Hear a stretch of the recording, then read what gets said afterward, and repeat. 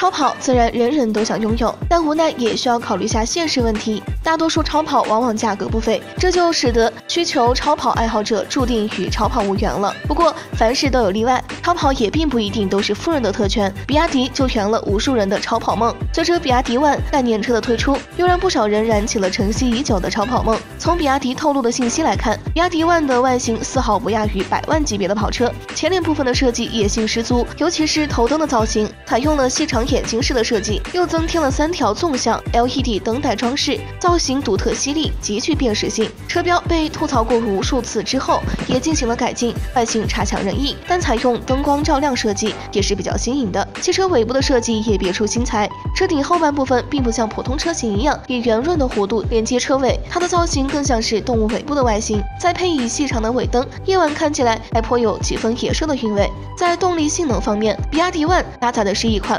涡轮增压发动机，传动方面匹配的是六速双聚散变速箱，百公里加速表现为4.5秒，性能突出，跟许多经典超跑车型都有的一拼。比亚迪推出的这款国产超跑可以用惊艳来形容了，不仅外形出人意料，而且动力表现也是如此优越。单单就这方面来说，比亚迪 ONE 堪称完美。既然走的是平民路线，这款比亚迪 ONE 的售价仅为三十万，价格十分友好，你会买这台车吗？